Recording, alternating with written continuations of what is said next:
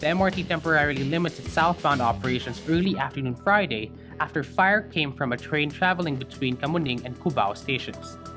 Passengers of the train were offloaded while the other trains continue operations from Shaw Boulevard to Taft Avenue.